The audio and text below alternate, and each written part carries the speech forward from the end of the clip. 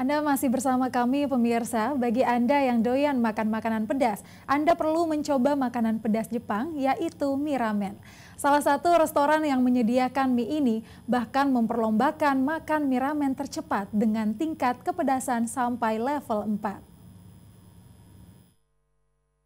Cepat. Yes, itu dia uh, syarat dan ketentuan yang berlaku selama bagi Anda yang doyan makan makanan berkuah plus yang pedas, nah sebaiknya jangan lewatkan kesempatan mencoba makanan berkuah khas Jepang yang satu ini, mie ramen. Salah satu gerai restoran yang menyediakan makanan khas Jepang, Gokana bahkan memperlombakan makan mie ramen pedas dengan tingkat kepedasan hingga level 4. Perlombaan makan ramen super pedas ini diikuti sebanyak 80 peserta.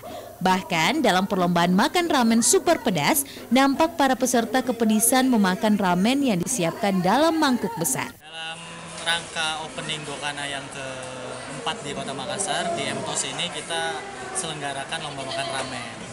Jadi setiap pembukaan cabang Gokana memang kita biasanya menyelenggarakan lomba makan ramen sih. Kayak gitu. Ada berapa peserta yang ikut?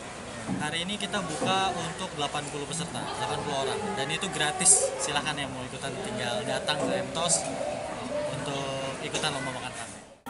Salah seorang peserta Dila mengaku mengikuti lomba makan mie ramen karena penasaran ingin mencoba makanan asli Jepang tersebut karena sebelumnya belum pernah merasakan sama sekali. Karena kan mau coba rasanya seperti apa. Uh, tadi makan mie ramen berapa, level berapa? level 4. Tapi uh, bisa menghabiskan uh, mie ramennya dengan cepat ya? Iya. Yeah.